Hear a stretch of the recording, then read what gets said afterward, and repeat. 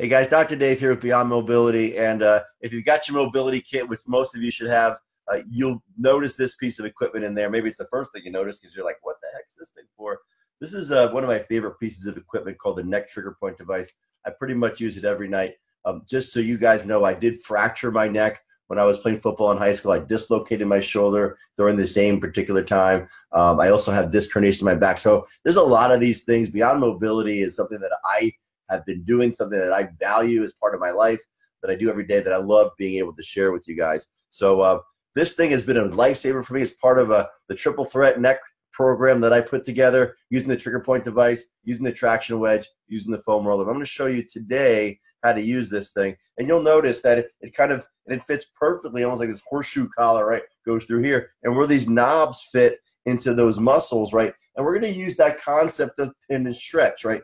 But what I love to do with this before we get started, if you haven't already, um, I put a little cream on it. A little moisturizer is fine. I use CBD cream. Uh, it's supposed to have some medicinal value to it. So we're going to put that on. I'll put it on the, the heads of the device. And then what I'll do is I'll really kind of put it up in my neck, right? Just get some moisturizer on there. Get that skin friction out.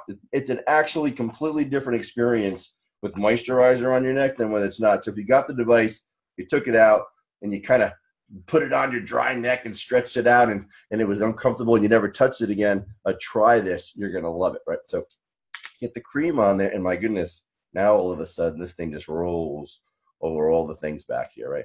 So again, with self-care, it's really about getting connected with yourself. So it shouldn't be a mechanical thing where it's like, all right, point here and do this and do this. No, you're going to get in there and try to feel some of that soft tissue, some of these tight muscles that have been you know, tight from looking over a computer, looking at a desk all day long. So what I'll do is I'll, I'll get up on those top areas and those muscles, and I'll just find the first tight, stiff area.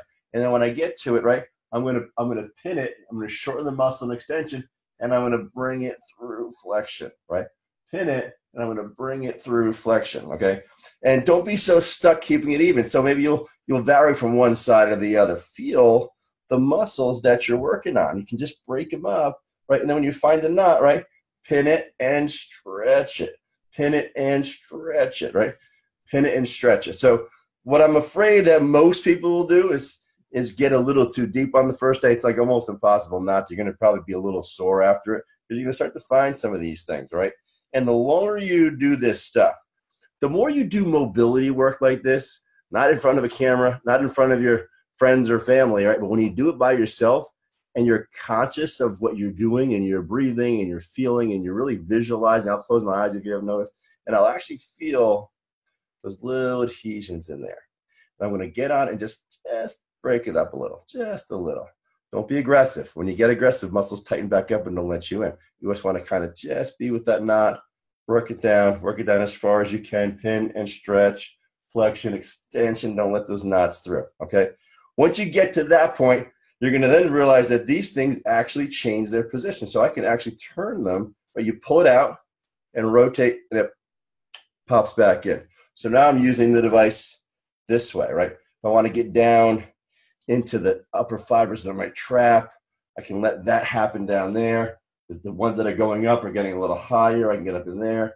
And then what you're going to really start to do is bring it left, bring it right, start to bring up some of these knots down at the bottom, right? And you're just loosening up muscle. So, you know, it's kind of like you're limited by your own imagination. Okay. You want to just have that present time consciousness with the muscle, like we do with any of the mobility. A lot of those principles of breathing, um, getting on tight, tender muscle, getting some circulation, ischemic compression, breaking up the muscle, allowing some circulation in there, getting some mobility. When you put this thing down, you feel like, I mean, like a jack in the box, right?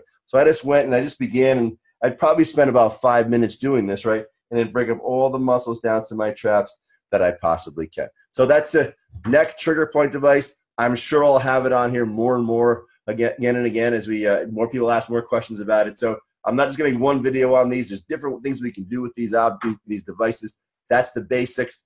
Ask questions, comment. I'd love to hear your feedback on how you're doing with your neck cervical device, whether you're breaking up the trigger points or not, having difficulty with it. Let me know about it. I'll shoot another video. Guys, have a great day. Hope you're enjoying Beyond Mobility and uh, appreciate all your feedback and your comments. Let me know what you need to know more about. Okay, I have no idea you know, I, I, I take anything out of my brain and give it to you. I just need to know where you're at, what your where your troubles are. Hey, what are your wins? What are your what are your struggles? Let's do this together. Make mobility part of your lifestyle, like I have with mine. You're going to see huge benefits, guys. So I'll see you here in the next video.